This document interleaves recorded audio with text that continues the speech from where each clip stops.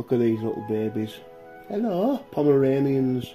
Come here, Twinkle. Twinkle. Try to get through the door. Twinkle! And another thing, they don't argue back like women. Twinkle! Hello. Come here then, good lass. Good little dogs like her. Good little dogs. Hello, Bobby. Look at her. Oh, look at her. Play with the balls. Oh, good dog. Ali, are you awake? Are you fucking joking? So I've gone through my phone, right? And I've got messages starting at like 12 and they finish at like 4. And it's like, get up here. The next message. Do you like me? The next message. Do you like me? Am I good looking? The next message. I'm the hardest man in Carlisle. The next message. If anyone want to see my cock. I said, what? The next message. Have you ever seen a cock this big? Bulbasaur. And then the next one's like, he's been tasered.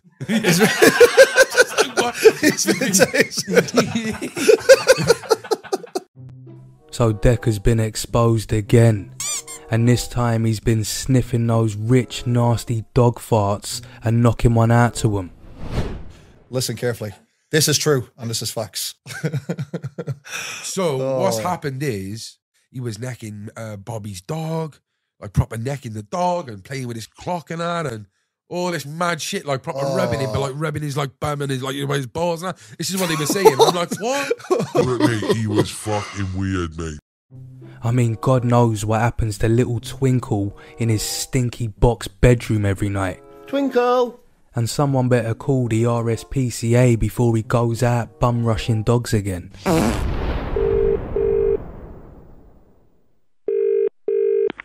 Hello. Yes, it's the RSPCA. Yep. Alright, great. I need you to listen to me very carefully, alright? There's a geezer by the name of Decca Heggie. Derek Gordon Eggy. I mean Heggie. Yep. What would you like to know? This bloke's been going round French kissing dogs and fisting the life out of them. You need to send a canine doggy protection unit round to this guy's gaff, mate. Are you fucking joking? Well, let's say a dog's a man's best friend. what a fucking deckers. We're in the back of the car. This is how mad it was. We're in the back of the car. He's already on his phone saying, Do you like me? Am I good looking? What? He's a fucking psycho.